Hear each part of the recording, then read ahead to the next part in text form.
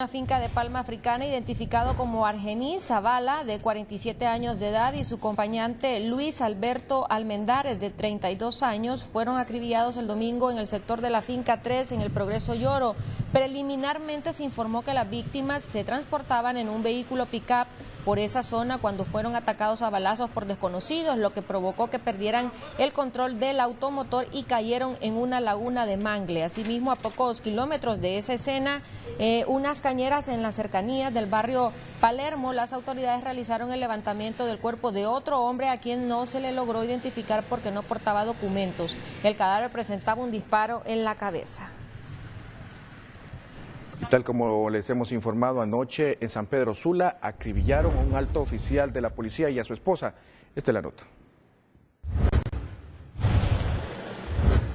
El subcomisario de policía Marco Aurelio Arias Rodríguez y su esposa Lorena Ávila fueron acribillados al interior de su vehículo e inmediaciones del barrio Paz Barahona en la avenida Circunvalación de San Pedro Sula. Testigos del doble crimen que se encontraban en restaurantes de la zona describieron que los sicarios iban en un vehículo 3.0 del que solo se bajaron cuatro sujetos encapuchados armados con AK-47. Él venía del sector de lo que corresponde el Boulevard del Este hacia, hacia el centro de la ciudad por el Boulevard del Sur, a la altura de lo que corresponde en la parte de atrás del Mall Multiplaza. Es seguido por un vehículo doble cabina, color blanco. En ese momento cuando eh, eh, los individuos, pues los fascinerosos disparan en contra de la humanidad del compañero Marco Aurelio Arias Rodríguez y de su esposa a bordo de un vehículo eh, Toyota doble cabina color gris. Uno de nuestros motorizados de la unidad metropolitana número 5 lo sigue, el vehículo, pues, eh, el motorizado le hizo varios disparos, 20 disparos al otro vehículo. Eh, se están haciendo algunos esclarecimientos y de repente pues salieron heridos los otros individuos. No obstante, pues el vehículo a la altura de lo que corresponde la línea férrea, en una parte eh, oscura de lo que corresponde al barrio de La Guardia, se les perdió los motorizados. La última asignación del oficial Marco Aurelio Arias Rodríguez fue en Tegucigalpa, ya que desde hace un año estaba en disponibilidad por razones que no dieron a conocer no tenía ningún cargo aún, él estaba en una, una situación de, suspendido, él pertenecía a la 18 promoción de la Academia Nacional de Policía, que esto pues a su vez eh, octantaría en el grado de comisario hasta esta fecha, lo que corresponde en mes de febrero. Previo a que estaba en disponibilidad, estuvo asignado en la jefatura departamental número 6 con sede en Choluteca, estuvo asignado también en, en lo que corresponde análisis eh, de la policía de Tegucigalpa, y estuvo precisamente también asignado en lo que corresponde a los centros de estudios del CIP del Centro de Instrucción Policial que era antes, ahora Instituto Tecnológico Policial. El oficial se encontraba de visita en San Pedro Sula y se dirigía a una cena familiar cuando ocurrió el ataque. Maylin Coto, Telenoticias.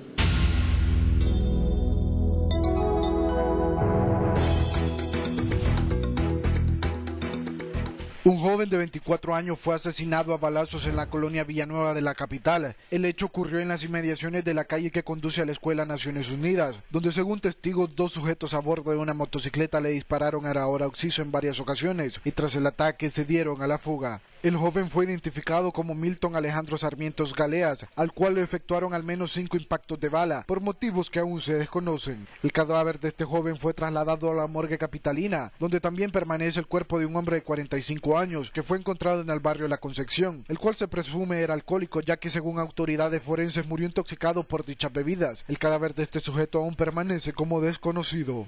Luego de responder a varias denuncias durante horas de la tarde, los efectivos policiales del barrio Belén le dieron captura a un supuesto asaltante que se hacía pasar por taxista. Según estas autoridades, este sujeto realizó al menos nueve asaltos en un lapso de dos horas en el trayecto de la colonia Kennedy hasta las cercanías del Parque Obelisco, lugar donde fue capturado. Les informó Roger Rubio, más noticias con Ricardo Matute en San Pedro Sula.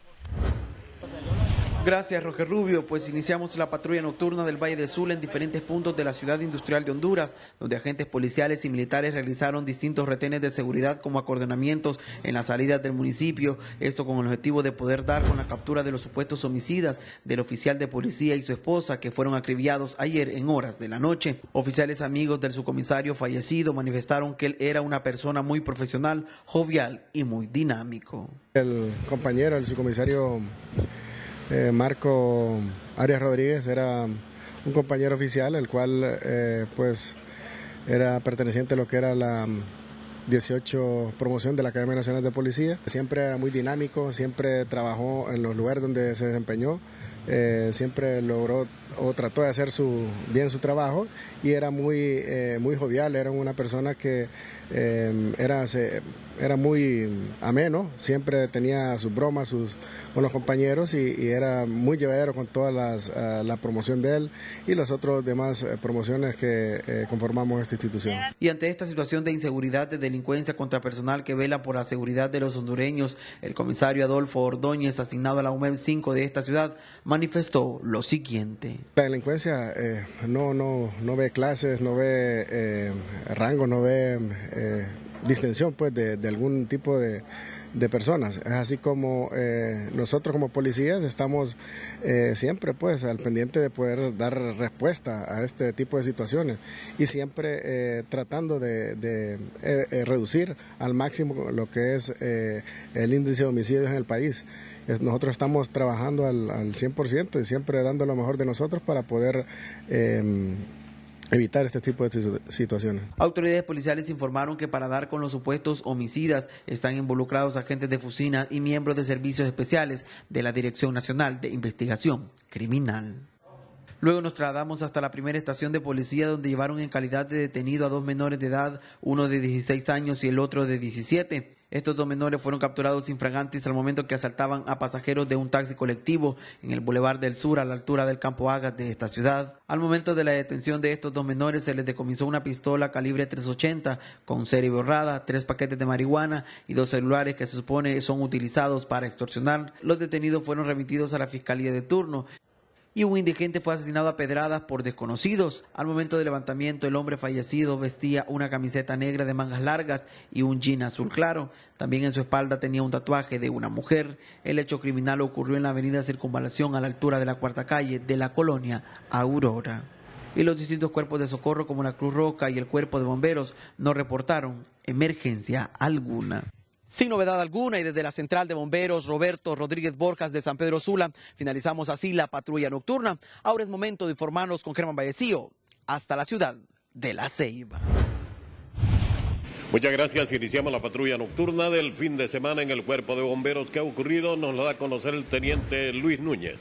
Sí, buenas noches. Durante el fin de semana lo que hemos tenido son servicios de ambulancia que se le han brindado a la ciudadanía. Tuvimos un conato de incendio localizado lo que fue la colonia El Naranjal y el cual pues fue eh, una vivienda que se quemó lo que es una eh, cilindro de gas que tenían, ¿verdad?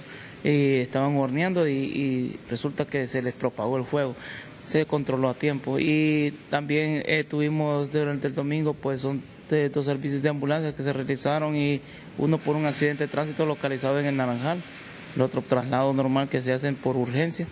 Y ahí pues eh, durante la noche pues ha estado todo lo que es normal y estado siempre como cuerpo bombero esperando, estando a la expectativa de lo que todo suceda dentro de las 24 horas.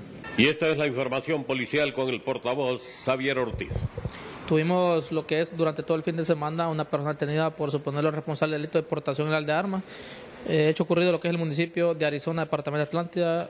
El detenido responde al nombre de Julio César Ortiz, de 35 años de edad, a quien se le comenzó un arma de fuego calibre 38.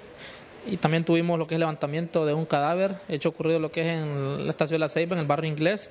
Esta persona era de nombre y generales desconocidas en vista que no portaba documentos al momento del levantamiento. Una persona de 30 a 35 años de edad, esta persona eh, lo conocía en este sector con el alias del gorila. Esta persona ya había estado eh, detenido en días anteriores en el archivo criminal, sale procesado también y que estuvo purgando una pena en el centro penitenciario de esta ciudad de La Ceiba. Eh, presentaba nueve heridas disparadas por arma de fuego y presuntamente esta persona se dedicaba a lo que es a, hacer diferentes robos. También tuvimos tres personas detenidas por violencia doméstica, quienes fueron puestas al orden del Ministerio Público, tres vehículos decomisados, y cinco motocicletas que han sido decomisadas por parte de la Policía Nacional.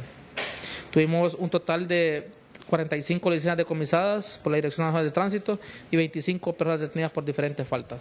Hasta aquí la patrulla nocturna. Gracias por su atención.